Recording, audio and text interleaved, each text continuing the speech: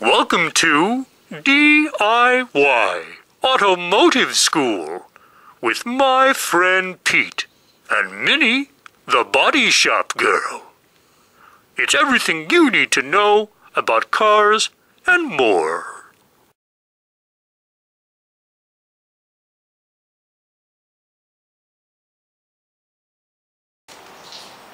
Then we come to the DA sanding uh, sander. Okay, DA means dual action. And what we're going to do, okay, this is another procedure that you can use, okay, and this is the procedure I use uh, instead of hand sand. Once I'm done with 1500, I use my DA sander. Now, I was telling you about DA sanders. It's very important. Let me go get the other sander. I'm going to show you the difference.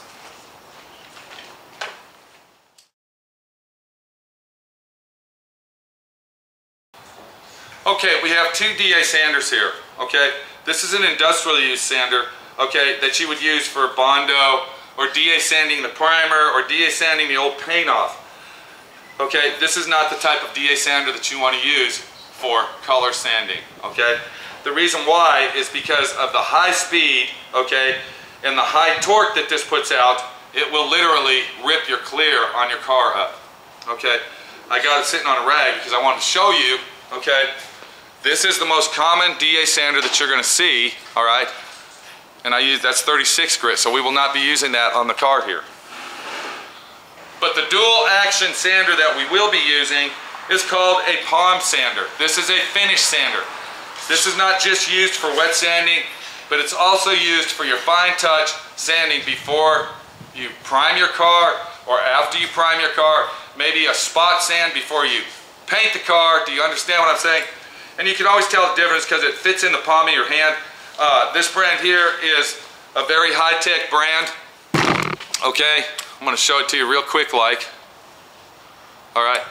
And it's actually called a finish DA sander. This is the sander we are going to use. If you look real close, you can see that the pad I use, okay, is a hook-it pad, which is used for our foam pads. So what you want to do is take your foam pad, okay, and you want to go ahead and hook it on here. Once again, there are different brands you can buy, uh, different, everybody has a different way of doing it. This is the way that I like to do it, and this is the way that I'm going to stick with. So I'm going to start out with 2000. Put this away. Now I want you to pay attention. This is 2000, and you can hear that it's sanding my hand, okay? So, those go a long way. I actually used that on another car, and I kept it. These are very expensive as well. So what we're going to do, we're going to plug our sander in, just like you see. Okay. Then we're going to dip it in the water. We're going to get our sponge. Then we're going to turn it on high speed.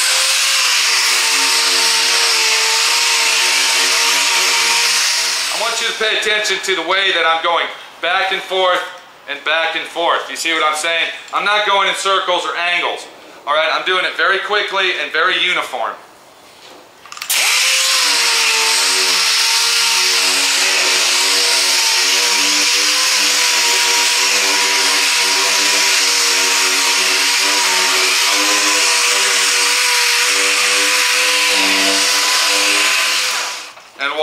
we're done with 2000.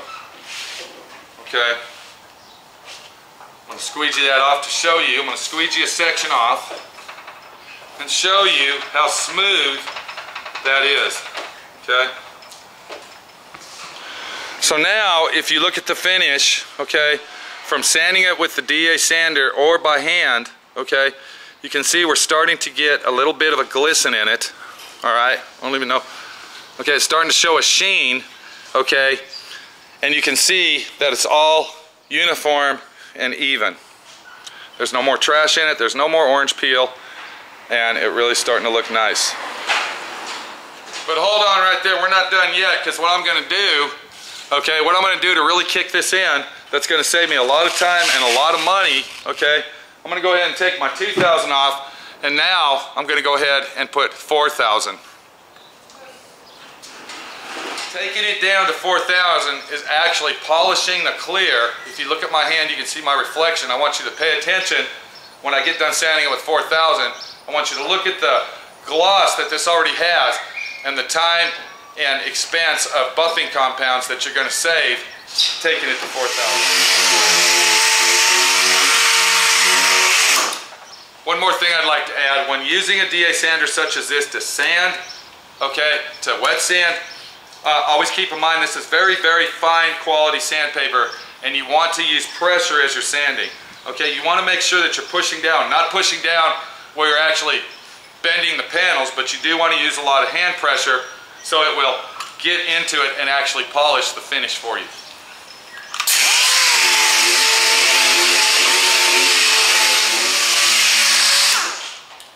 Okay.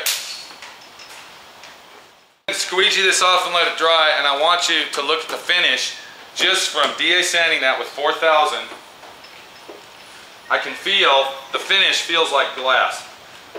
If you listen real close, you can't even hear the squeegee going across the panel.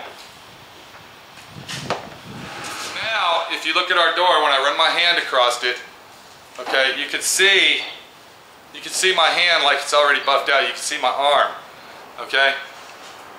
The finish of this, if you could be able to touch that, is like liquid plastic, okay? It's like a piece of plastic that just came out of the mold, all right? Wet sanding your vehicle to be color sanded and buffed is the most important step to doing the job right. Uh, always remember that the first sand job that you do to it, which is your initial 1500 or if you have to use 1200, okay, is the most important sanding of the whole job. Once you get it down to 2000 and 4000, you're pretty much downhill. Uh, we'll be back. I'm going to show you how to buff that and always remember everything that I'm doing on this panel applies to any type of painted surface, okay, that you want to color sand and buff. I would like to mention though, this is base coat, clear coat. Uh, acrylic enamel or single stage paint is very hard to buff due to the fact that it doesn't have a clear coat protective on top of it. That means when you color sand it, okay, if it's got a lot of metallics in it or a lot of pearls, you're actually color sanding the paint, okay? So if you're painting a single stage paint, this does not apply to that. Single stage paint is basically uh, a paint and go, okay? You don't buff it, you don't do nothing. You wash it off real good and you wax it, all right? Single stage paints are usually used on quickie paint jobs such as Maaco or Earl Scheib's, or maybe you just want to paint your tractor, or you want to paint, uh, you know, your little tricycle that you had when you were, you know, three years old and uh, you want to make it look nice to put up on your top shelf uh, to remind you of the good old days, all right? If you want a top-notch professional job, base coat, clear coat. The steps that I'm showing you is not for single stage paint. We'll be back to buff.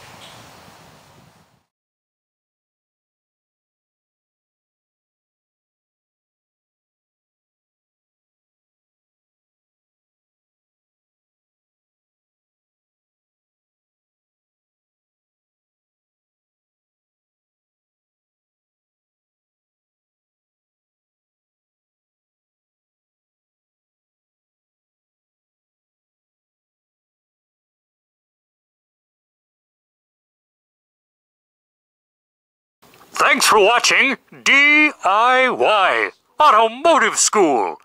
Classes don't stop till you know everything.